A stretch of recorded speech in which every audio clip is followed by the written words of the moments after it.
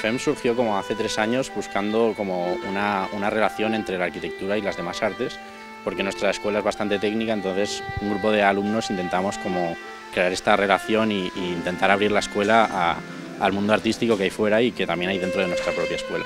Entonces somos un colectivo de alumnos, pero estamos abiertos siempre a, nueva, a nueva gente que quiera entrar o quiera ayudar y organizamos esta muestra una vez al año.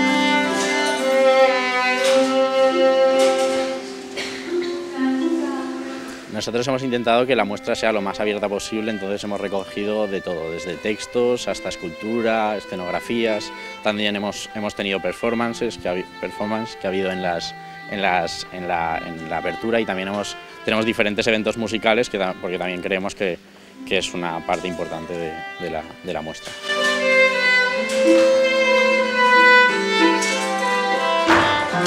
200 obras de unos 70 participantes en, general. Eh, y no, no, hay ningún filtro. Eh, puede participar quien quiera, eh, sea de la UPV, sea estudiante, no lo sea. Y tampoco intentamos que no haya censura a nivel contenido. Por lo tanto, no hay ninguna clase de criba, no, nosotros en ningún momento estamos seleccionando esta obra puede participar, esta obra no puede participar.